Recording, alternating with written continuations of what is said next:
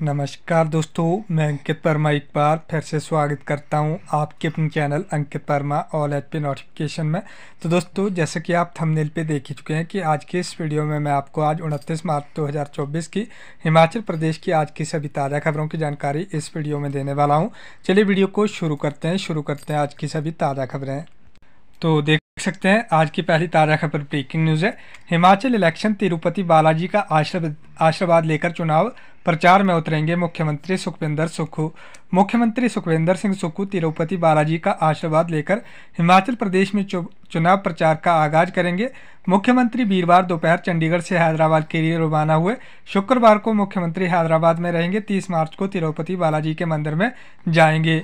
Himachal election विरोध और स्वागत के बीच भाजपा ने उपचुनाव के लिए मैदान में उतारे नए चेहरे। विरोध और स्वागत के बीच धर्मशाला हमीरपुर उन्नाव और सोलन में हुए इन कार्यक्रमों के ज़रिए पार्टी नेतृत्व ने एकजुटता के साथ ऑल इज़ वेल का संदेश देने की कोशिश की।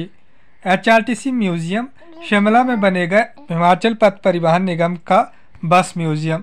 मुंबई की तर्ज पर शिमला में बस म्यूज़ियम बनेगा। हिमाचल पथ परिवहन निगम एचआरटीसी की स्थापना के 50 साल पूरे होने पर बस संग्रहालय बनाया जा रहा है। हिमाचल न्यूज़ कांग्रेस के बागी छः भाजपा प्रत्याशियों की ओर बढ़ेगी सुरक्षा। हिमाचल प्रदेश में कांग्रेस के बागी छः भाजपा प्रत्याशियों का सुरक्षा घेरा और बढ़ाया जा सकता है। भाजपा में शामिल होने के बाद छः बागियों को प्रत्याशी बनाए जाने से भाजपा कार्यकर्ताओं और पूर्व प्रत्याशियों में रोष है। कांग्रेस पार्टी के कार्यकर्ताओं में भी पार्टी छोड़ने पर इनके प्रति गुस्सा है। ऐसे में लोकसभा और विधानसभा उपचुनाव प्रचार के दौरान इनके साथ केंद्रीय रिज़र्व पुलिस के चार जवान साथ रहेंगे। हिमाचल मुख्यमंत्री सुक्खू बोले भाजपा शासन वाले किसी राज्य में पुरानी पेंशन नहीं।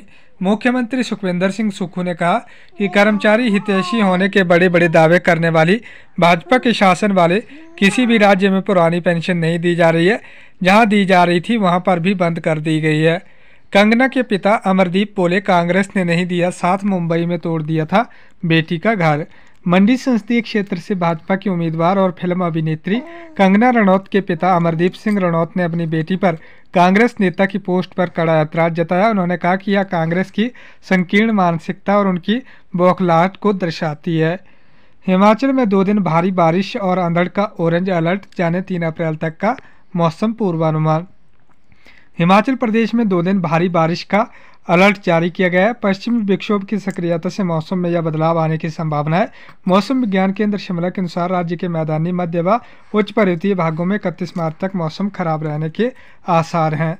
हिमाचल जयराम बोले, जिस दिन प्रदेश में विधायकों की गिनती चौंतीस चौंतीस होगी, उस दिन भाजपा की सरकार होगी। नेता प्रतिपक्ष एवं पूर्व सीएम जयराम ठाकुर ने कहा, जिस दिन प्रदेश में विधायकों की गिनती चौंतीस चौंतीस होगी, उस दिन प्रदेश में भाजपा की सरकार होगी। बागी विधायकों पर जयराम ने कहा कि उन्होंने भाजपा के प्रति समर्थन जताया था। उनको टिकट देकर पार्टी ने नैतिकता निभाई है। राजेंद्र राणा बोले, बेकाऊ कहने पर सीएम सुखू पर करेंगे मानहानि का दावा।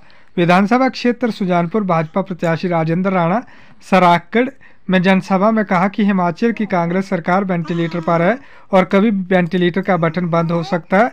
हिमाचल के उपचुनाव ही नहीं, बल्कि देश भर में लोकसभा चुनाव भी भाजपा बहुमत के साथ जीतेगी। मुख्यमंत्री सुक्खू ने उन्हें और उनके विधानसभा क्षेत्र के लोगों को धोखा दिया है। धर्मशाला जनसभा में भावुक हुए सुधीर बोले, जहाँ मान सम्मान ना हो, वहाँ बड़े से बड़ा पद भी ठुकरा देना चाहिए। रुंधे हुए गले से सुधीर ने कहा कि हमारे बारे में बहुत सी बातें कही गई। मुख्यमंत्री बार बार यह कहते रहे कि विधायक बिक गए लेकिन मैं बताना चाहता हूँ कि सुधीर शर्मा बिकाऊ नहीं है। मैंने हमेशा धर्मशाला के विकास की लड़ाई लड़ी है। शिक्षा मंत्री ने शिमला, सोलन और सिरमौर के जिला अध्यक्षों के साथ बनाई चुनाव रणनीति। गुरुवार को पार्टी मुख्यालय राजीव भवन शिमला में उन्होंने चुनाव प्रचार की रणनीति बनाई। उन्होंने कहा कि शिमला संसदीय क्षेत्र के प्रति भाजपा सांसद की उदासीनता को चुनाव के दौरान मुख्य मुद्दा बनाया जाएगा। हमीरपुर, आशीष शर्मा बोले, हार के डर से इस्तीफा नहीं किया स्वीकार, जाएँगे सुप्रीम कोर्ट। मुख्यमंत्री सुखविंदर सिंह सुक्खू ने गृह जिला में विकास कार्य करवाए होते तो इस्तीफे की पेशकश के आगे, अगले दिन ही इसे स्वीकार कर लिया जाना चाहिए था। सोलन न्यूज़ संजय अवस्थी बोले, बड़े नेता कांग्रेस के संपर्क में जल्द थामेंगे पार्टी का हाथ। मुख्य मुख्य संसदीय सचिव अर्की के विधायक एवं कार्यकारी प्रदेश अध्यक्ष संजय अवस्थी ने कहा कि पार्टी सत्ता के लोभ में भाजपा ने जिस तरह की कारगुजारी हिमाचल में किए और विधायकों की खरीद परोखत देखने को मिली, इसका परिणाम उन्हें लोकसभा चुनाव में देखने को मिलेगा। हिमाचल के हमीरपुर में भाजपा पहुँच रही घर द्वार बिना दुल्ले के कांग्रेस कैसे करे प्रचार। संसदीय क्षेत्र हमीरपुर में भाजपा तेरह मार्च को अनुराग सिंह ठाकुर को प्रत्याशी के रूप में मैदान में उतार चुकी है। इतना ही नहीं, भाजपा कार्यकर्ता अब अनुराग के लिए प्रचार करते करते मतदाताओं के घर द्वार पहुँच रहे हैं। इसके विपरीत, कांग्रेसियों को अभी अपना दुल्हा प्रत्याशी नहीं मिल पाया है। भाजपा ने अनुराग ठाकुर को लगातार पांचवी बार टिकट देकर चुनावी मैदान में उतारा है। हिमाचल न्यूज़, निर्दलीय विधायकों के इस्तीफे स्वीकार करवाने में राजभवन की भूमिका नहीं। विधायक के पद से इस्तीफा देने वाले तीन निर्दलीय विधायकों से जुड़े मामले पर राज्यपाल शिव प्रताप शुक्ल ने कहा कि विधानसभा अध्यक्ष को ये त्यागपत्र स्वीकारने चाहिए थे।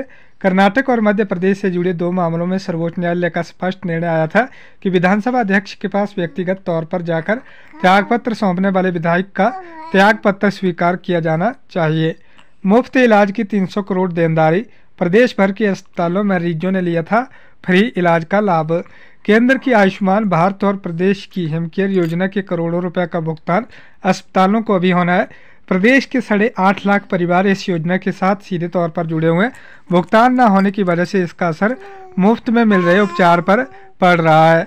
बड़े वाहनों के लिए खुला चक्की पुल। लोगों ने ली राहत की सांस। अढ़ाई साल बाद ब्रिज पर दौड़ी बड़ी गाड़ियाँ। तस्वीरें आप देख सकते हैं। ढाई साल बाद ब्रिज पर दौड़ी बड़ी गाड़ियाँ। लोगों ने ली राहत की सांस। मनाली के कालू नाले में हिमस्खलन होने से जेसीबी ऑपरेटर दबा तस्वीरें आप देख सकते हैं। हिमाचल प्रदेश की पर्यटन नगरी मनाली के साथ लगते जगतसुख के कालू नाले में गुरुवार दोपहर बाद हिमस्खलन हुआ।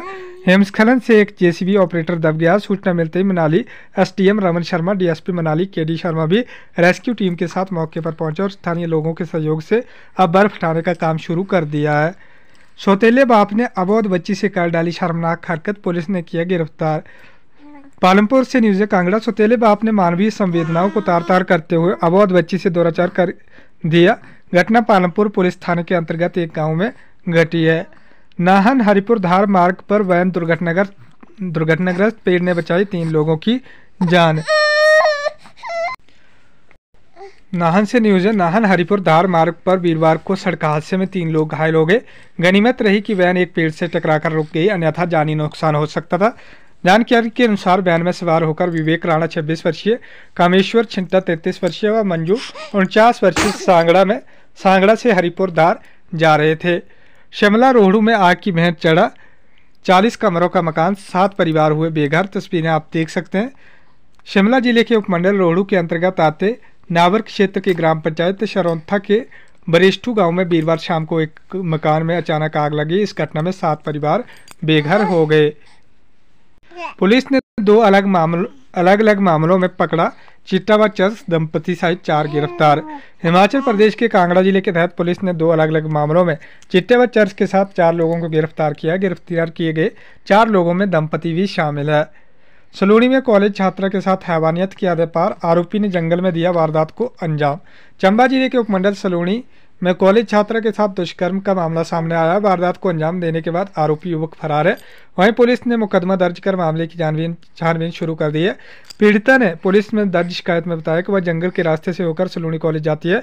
वीरवार को सुबह करीब आठ बजे वह घर से कॉलेज के लिए निकली। रास्ते में उसे उक्त युवक युवक का फ़ोन आया और उसे रुकने के लिए कहा। करीब आठ पैंतालीस तय स्थान पर पहुँच गया और उसे जबरन जंगल में ले गया। वहाँ उसके साथ मारपीट की और जबरन दुष्कर्म किया। उसके अलावा किसी को बताने पर उसे जान से मारने की धमकी की।